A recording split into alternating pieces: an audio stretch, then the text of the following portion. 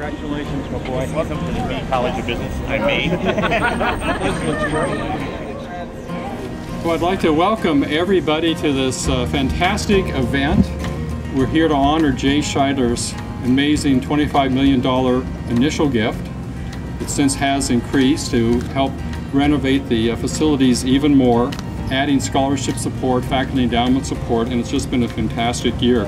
I felt like I was coming into the middle of a conversation.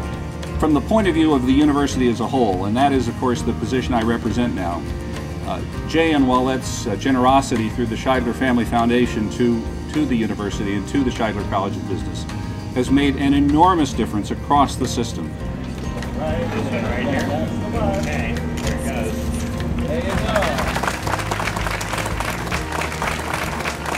I don't know about you, but I just feel physically moved by what has occurred here and by what will occur here at this school.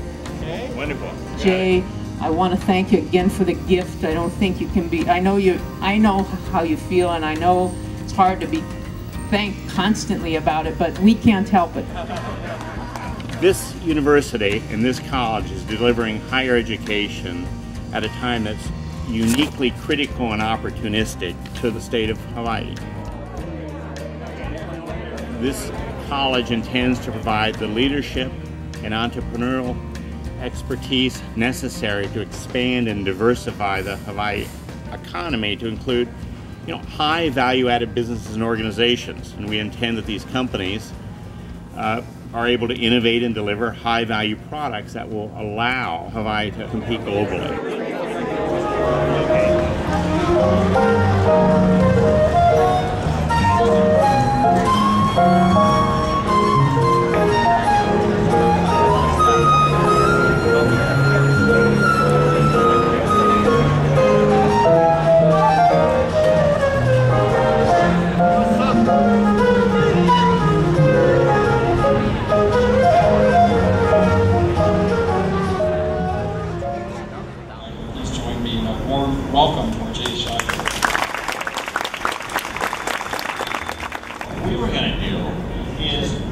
We're going to create a community here, and if you look around the banners, what we've chosen to do is we've chosen to celebrate our students, we've chosen to celebrate our alums.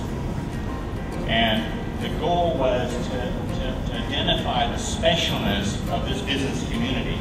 I wanted to thank everybody for coming today, and thank Dean Roley for giving me the opportunity to participate in this spectacular undertaking. Thank you very much.